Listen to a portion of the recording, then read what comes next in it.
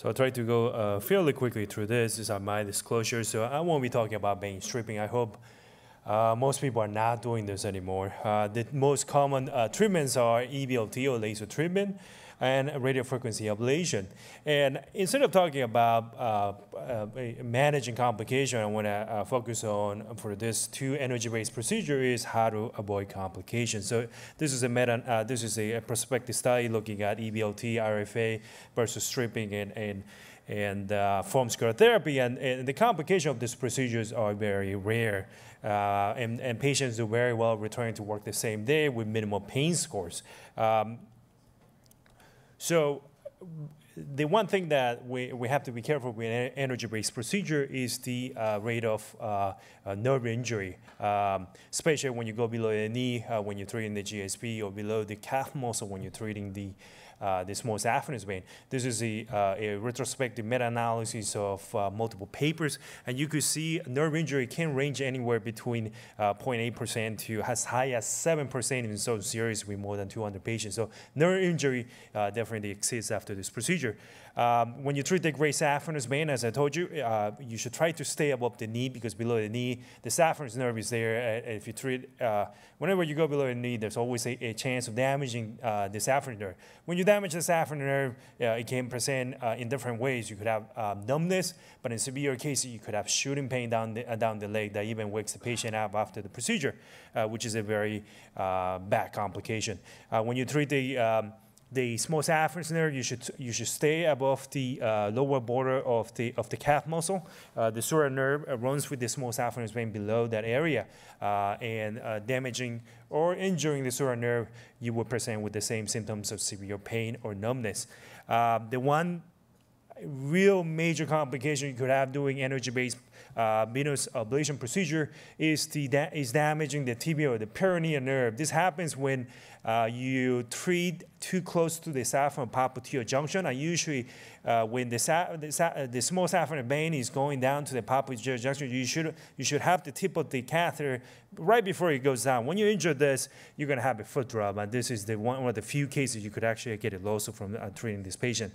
So nerve injury is a real thing, and, and it's very important to stay um, very conscious about the, uh, the anatomy when you treat this patient. Skin burns are uh, very rare. If you, uh, tumescent should be your friend. If you do good tumescent, skin burn uh, shouldn't be an issue. But when you're treating uh, veins that are very superficial, this is a patient with a skin burn after a procedure. Uh, this is an RFA treatment that, uh, that was doing.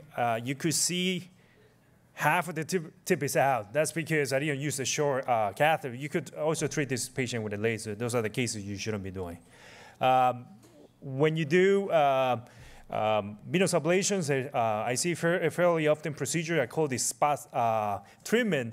Uh, patient had reflux all the way down to almost the mid calf, and he was treated with EVLT. And there's areas that the vein is closed, there are areas the vein reopened uh, with no perforat identified. I think this is a, a cases where um, the operator can pull too fast, too slow, and there's areas that can be treated. Uh, so Eh, because of the tortuosity, uh, neovascularization, it's very hard to get single axis, get multiple axis. But again, treating below the knee, uh, you have to be very careful. Uh, one of the new treatment, uh, ClariVein, uh, mechano, uh, mechanochemical ablation, is, is a newly, uh, it's one of the new devices uh, that doesn't utilize energy. So you could, you could utilize something like this below the knee. Um, this is um, was approved by FDA a couple of years ago, and now we have a new code, so we can. Uh, this is a procedure that we can definitely use. So when you compare uh, RFA with uh, ClariVein, again, complication rate are very low, and mostly is uh, thrombophlebitis, uh, induration, hyperpigmentation. Out of those two, I think thrombophlebitis, hyperpigmentation is what I like to focus on. Uh, Sapheon or VenaSeal is another new uh, treatment. It's, it's a glue form uh, to close your, your, your superficial venous um, um, your, your trunk vein. Uh, this was approved by FDA. There's no code yet, and the results are great compared to RFA. It's, uh, it's not inferior to RFA. The problem with this procedure is that most of the studies shows a high rate of thrombophlebitis. Uh, so this is, I, I think, uh, if you look at the different studies, this is uh, studies looking at EVLT. Thrombophlebitis is a real thing. Um, some of the studies rate a 1% uh, phlebitis rate uh, to about 20%. In my practice, I think it's anywhere between 10 to 20% if you're treating really big veins.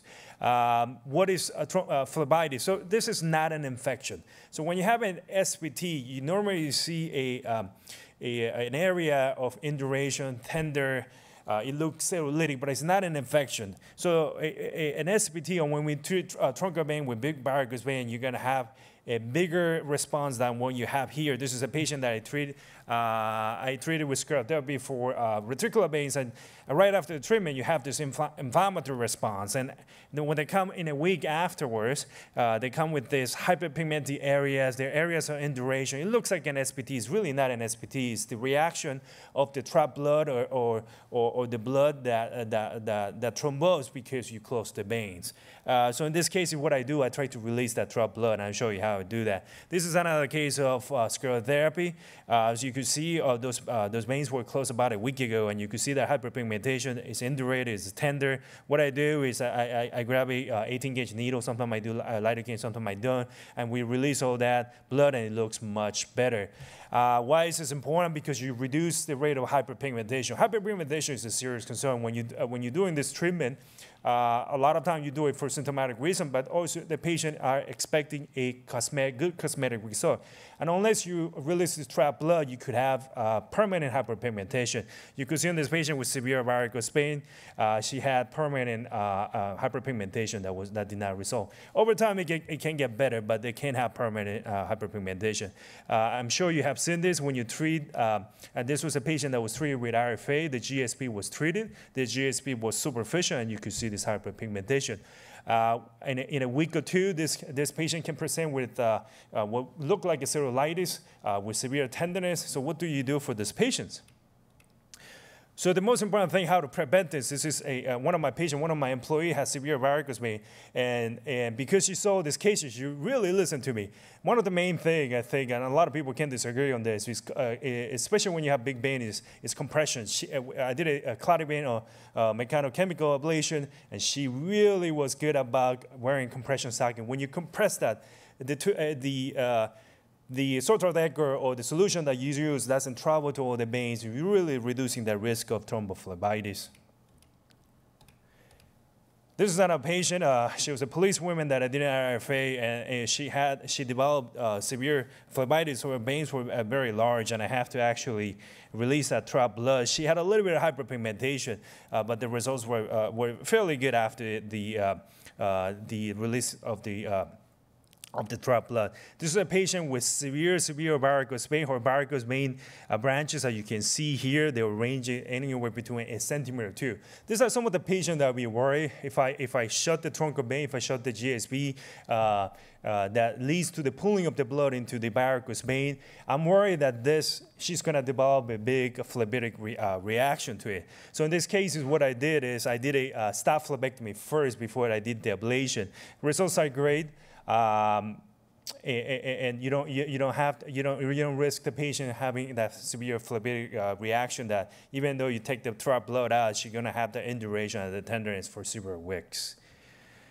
So this is an example of what I mean. This is a patient that underwent a ClariVein procedure. You can see this big varicose vein uh, uh, branch right here that's indurated, tender, red. Uh, patient was complaining of, of, severe pain. So what, what, what we do is um, it's fairly easy. We, we clean the area with ChloraPrep. And that was already clean. I'm, I'm, trying to feel for the area. I'm cleaning one more time. It was cleaned by one of my staff. I don't trust any of my staff. Um, so uh, I, I cleaned the area, and we just use lidocaine. Uh, you could you could clearly see where the vein is. And we, we use a 30 gauge needle, very small needle, and give a little bit of lidocaine. And um, let me fast forward a little bit. And then I just use an 18 gauge, that's an 18 gauge needle, and we just make a, a small little um, puncture.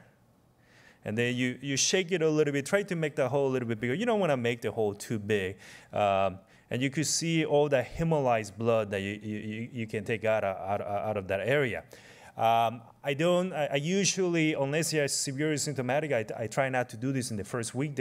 In the first week, the blood is still organized. So it's, it's, it's not that easy to take all that out. In the first week, if they have severe symptom, I do warm compresses, compression, uh, answers are needed, and I wait until about the second week. It's much easier to do in the second week. We have done this after, after six months, and you could, you could take all the hemolyzed blood and, and once you do that, the in, induration goes down, the tenderness goes down, the patient is going to feel much better. Let me just, for the time purpose, let me advance. Uh, I also use an 11 blade to make the incision a little bit bigger. You could have big chunks of clot to take all that out. And you could see that after we do all this, you, the induration is gone, the pain is gone, and the patient is much better. Uh, but uh, one, one of the reasons why you should do this is uh, is because you have symptomatic relief, but also you decrease the risk of patient having uh, permanent hyperpigmentation. Uh, just a, uh, a quick um, point about uh, DVT post-venous ablation. Uh, so I'm, we are very careful about staying two or three centimeter away from the junction. And, and when I do this, I do it live. I move the catheter live, I measure it live, make sure that there's no mistake. Once you do that, I have never seen a DVT. Now, uh, there's rare occurrences where you have a small extension, if it's like a hood extension, we don't, we don't put them in anticoagulation, we check ultrasound in two weeks. If it's more than a 50% occlusion, we, we, you have to put them in and follow them in two weeks.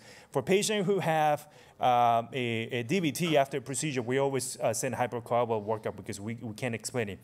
For uh, mechanochemical ablation, it's very important to, uh, to identify the anatomy clearly. If you have big perforator, now you're injecting foam with uh, uh, Sotradecol, and that foam can travel. So you could, you could be doing the GSV, and then you, you, you, could have um, uh, clots in, the, in, in, below, below the knee where you, you, you've never been there. So it's very important to identify all the perforate and try to close the perforate before you inject anything. Uh, my, my, my technique for this is also when you start at the uh, saphenous femoral junction, you want to rotate it for 10 seconds away from the bar to try to really uh, close that uh, junction before you start injecting. Thank you.